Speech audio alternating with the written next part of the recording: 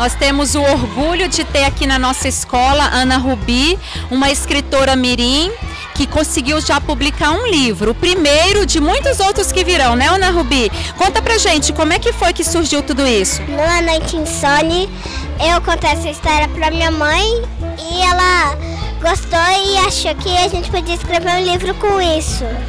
Aí veio a ideia do livro. Eu achei muito legal e eu também queria agradecer à banca de poetas que cedeu espaço para me lançar meu livro e aos meus irmãos também que eles me ajudaram a divulgar o livro.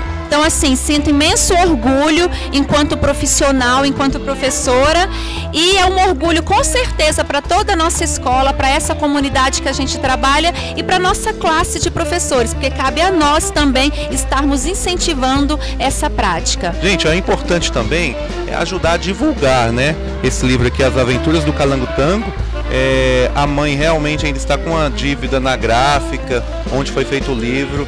É, cada unidade custa 20 reais. Então quem tiver interesse pode entrar em contato. É, o Facebook, né, Ana Rubi? Como é que é o Facebook? O meu Facebook é Ana Rubi Leal. É, se vocês quiserem ir lá, é só pesquisar Ana Rubi com dois N's, que é muito fácil de achar. Então, gente, quem tiver interesse, entre em contato com a gente aqui do Simpro ou então Ana com dois N's, Rubi, né? No Facebook, na busca vocês vão encontrar e por lá também pode encomendar. Olha, vale a pena. E foi um incentivo para todos os alunos aqui. Todo mundo agora aqui está querendo escrever também. Vamos ter vários escritores na nossa comunidade. Um abraço.